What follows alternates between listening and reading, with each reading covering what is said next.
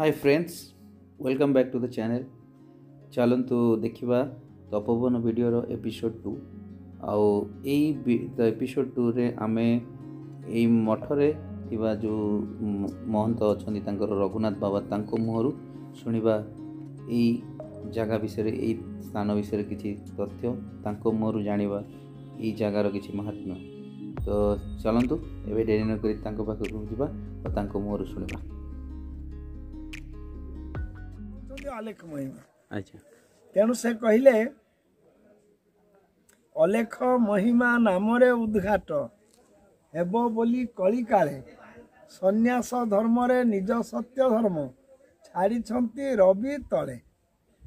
ଏବେ ସେ ଅନାଦି ଦିଗାମ୍ବର ହୋଇ ବହିଛନ୍ତି ବୁଦ୍ଧ ତନୁ ଆଦି ପରମୟ ଧର୍ମ ଦେଇଛନ୍ତି ସୃଷ୍ଟି ହେଲା ଯେତେ ଦିନୁ। ବାବା ଆପଣ ଏଇ ଏଇ ଯେଉଁ ମଠରେ କେତେ ଦିନ ହେଲା ଅଛନ୍ତି ବାବା?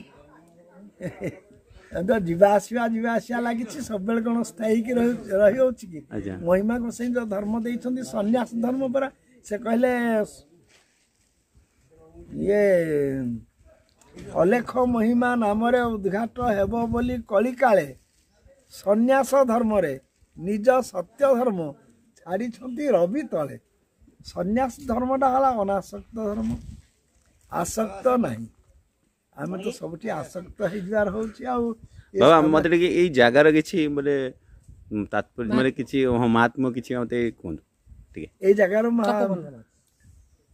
ଏ ଜାଗାରେ ମହିମା ଗୋସାଇଁ ଏ ଜାଗାକୁ ସୃଷ୍ଟି ସେ ତ ସ୍ରଷ୍ଟା।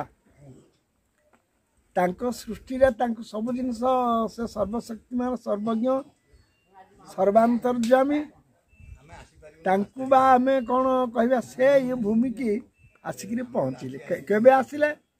କାହିଁକି ଆସିଲେ? ନାହିଁ। ବ୍ରହ୍ମାଣ୍ଡରେ ପାପ ଭାରା ଅଧିକ ହେବାରୁ ପୃଥ୍ୱୀଦେବୀ ସହିପାରିଲେ ନାହିଁ। ସେ ଶୂନ୍ୟ ବ୍ରହ୍ମ ଅଲେଖ ମହିମାକୁ ପ୍ରାର୍ଥନା କଲେ। ଅଲେଖ ମହିମା ତାଙ୍କର ଦେବମଣ୍ଡଳ ମହାଶୂନ୍ୟରେ ଦେବମଣ୍ଡଳରେ ତାଙ୍କର ପ୍ରସ୍ତୁତି ବୈଠକ କରି ଏ ଧର୍ମ ଅଧର୍ମକୁ ଅଧର୍ମକୁ ଇଏ ରଦ କରିକି ଧର୍ମ ସ୍ଥାପନ କରିବା ପାଇଁ ଆସିଲେ ଯେମିତିକି ଆମର ଗୀତାରେ କହୁଛି ଇଏ ଗୀତାରେ ଶ୍ଲୋକ ଯଦା ଯଦା ହି ଧର୍ମସ୍ୟ ଗ୍ଲାନିର୍ଭବତି ଭାରତ ଅଭ୍ୟୁତ୍ଥାନ ଅଧର୍ମସ୍ୟ ତଦାତ୍ମନ ସୃଜାମ୍ୟହಂ ପରିତ୍ରାଣ ସାଧୁନ ସମ୍ଭବାମି ଯୁଗେ ଯୁଗେ ମାନେ ଯୁଗେ ଯୁଗେ ଧର୍ମ ପୁରୁଷ ମାନେ ସୃଷ୍ଟିକି ଆସନ୍ତି। ସେଭଳିଆ ମହିମା ଗୋସାଇଁ ଯିଏ ଆସିଲେ ଇଏ ଶୂନ୍ୟ ନିଜେ ଆସିଲେ ଶୂନ୍ୟ ବ୍ରହ୍ମ। ଏଇ କଳିଯୁଗର ପାପ ସତ୍ୟ ଯୁଗରେ ଚାରିପାଦ ଧର୍ମ ତ୍ରେତୟାରେ ତିନିପାଦ ଧର୍ମ ଦ୍ୱାପରରେ ଦ୍ୱିପାଦ ଧର୍ମ ଦ୍ୱିପାଦ ଧର୍ମକୁ ଦ୍ୱିପାଦ ଧର୍ମ କଳି ଯୁଗରେ ତିନିପାଦ ଅଧର୍ମକୁ ପାଦେ ଧର୍ମ ସେ କାଟି ପାରିଲା ନାହିଁ। ତେଣୁ ଦାରୁମୂର୍ତ୍ତି ହିସାବରେ ଠାକୁର ରହିଲେ କିଛି ଆଉ ପ୍ରତିକାର କଲେ ନାହିଁ। ତେଣୁ ମହିମା ଗୋସାଇ ଆସିକି ଏଠି ପହଞ୍ଚିଲେ। ତେଣୁ ସେ ସେ ଯେତେବେଳେ ଆସିଲେ ତାଙ୍କ ସଙ୍ଗରେ ନେଇକି ଆସିଲେ ଶ୍ରୀକ୍ଷେତ୍ର ଶ୍ରୀ ଜଗନ୍ନାଥଙ୍କୁ କହିଲେ ଚାରି ଲକ୍ଷ ବତିଶ ସହସ୍ର ଭୋଗ ହୋଇଗଲା ପୂର୍ଣ୍ଣ ଜଗନ୍ନାଥ କ୍ଷେତ୍ରରେ ପ୍ରବେଶ ହୋଇଲୁ ବୃଦ୍ଧ ଶରୀର ଧରିଣ। ଜଗନ୍ନାଥ ଜାଣିଲା ଆସି ମୋ ଚରଣେ ସେବା କଲା। ରହି ନାହିଁ କାହିଁ କପିଳାସେ ଯାଇ ଗୋବିନ୍ଦ ଦାସ ଭେଟିଲା। ରତ୍ନ ବସ୍ତ୍ର ଆୟ ଅଳଙ୍କାର ତେଜି ଶୂନ୍ୟ ଘରୁ ବାନା ନେଲା ଋଷି ଭକ୍ତେ ହୋଇଲେ ରହି ମୋ ଚରଣେ ସେବା କଲେ। ତେଣୁ ମହିମା ରତ୍ନ ବସ୍ତ୍ର ଆୟ ଅଳଙ୍କାର ଶ୍ରୀକ୍ଷେତ୍ର ଶ୍ରୀ ଜଗନ୍ନାଥଙ୍କ ଛଡ଼ା ଆଉ କାହାରି ନାହିଁ। ତେଣୁ ସେ ଏଠିକି ଆସିଲେ। ତେଣୁ ମହିମା ଗୋସାଇଁ ଯେତେବେଳେ ବ୍ରହ୍ମାଣ୍ଡରେ ପ୍ରଥମେ ସେ ହିମାଳୟରେ ଥିଲେ ତାପରେ ଶ୍ରୀକ୍ଷେତ୍ରରେ ମଧ୍ୟ ସେଠି ତାଙ୍କର ଧୂଳିଆ ଗୋସାଇଁ ନାମରେ ନାମିତ ବ୍ରହ୍ମବାଦ ସମ୍ପର୍କରେ ଆଲୋଚନା ହେଲା। ଖଣ୍ଡଗିରିରେ ବାର ବର୍ଷ ପର୍ଯ୍ୟନ୍ତ ସେ ଜଳ ଆହାର କଲେ। ଢେଙ୍କାନାଳ ପବିତ୍ର ପୁଣ୍ୟଭୂମି ଢେଙ୍କାନାଳକୁ ଅଠରଶହ ଅଠତିରିଶ ମସିହାରେ ଆସିଲେ।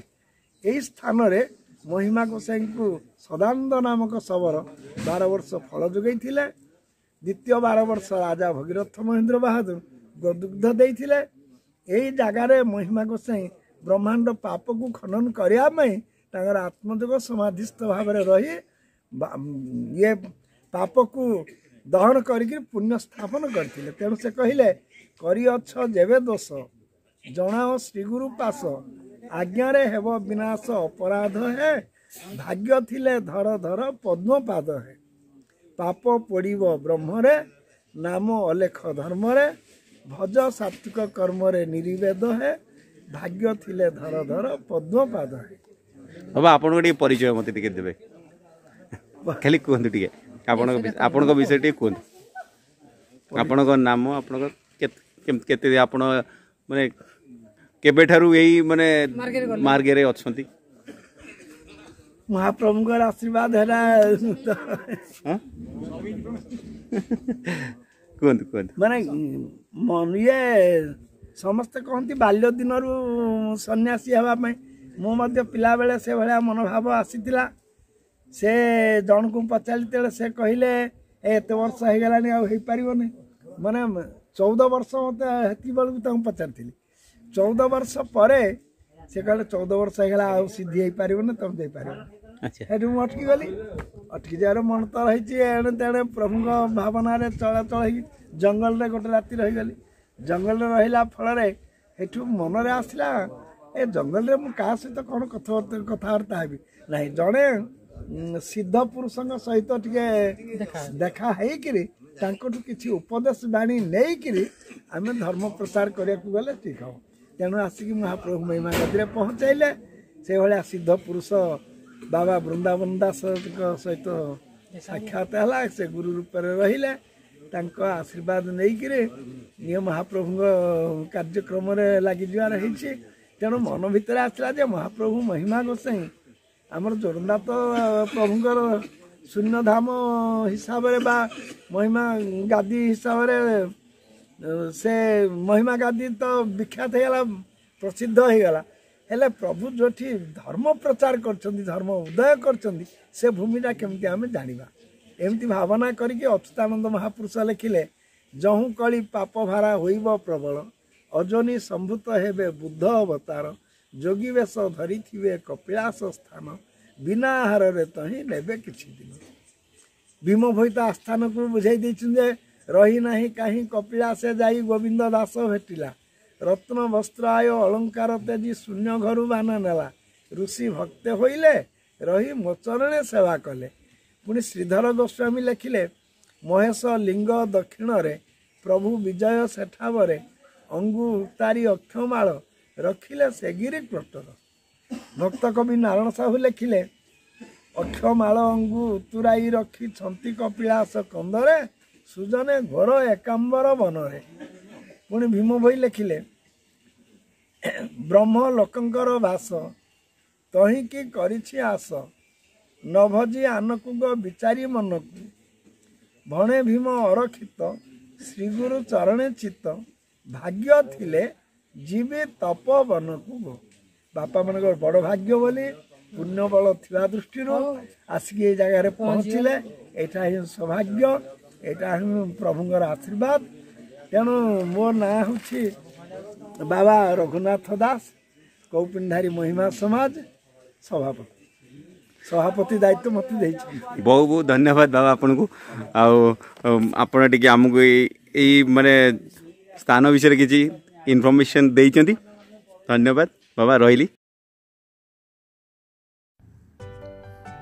Friends time has come to end of this Tapoban series video. ଆପଣମାନଙ୍କୁ ଯଦି ଏ ଭିଡ଼ିଓଟି ଭଲ ଲାଗିଥିବ ତାହେଲେ do not forget to like share and subscribe ଆଉ ଆପଣଙ୍କର ଭ୍ୟାଲୁଏବଲ୍ କମେଣ୍ଟ ଦେବାକୁ ବି ଭୁଲିବେନି। ପୁଣି ଦେଖା ହେବ ଗୋଟିଏ ନୂଆ ଲୋକେସନ୍ ନୂଆ ଭିଡ଼ିଓରେ ଟିଲ୍ ଦେନ୍ ନମସ୍ତେ ଭଲରେ ଥାନ୍ତୁ ସମସ୍ତେ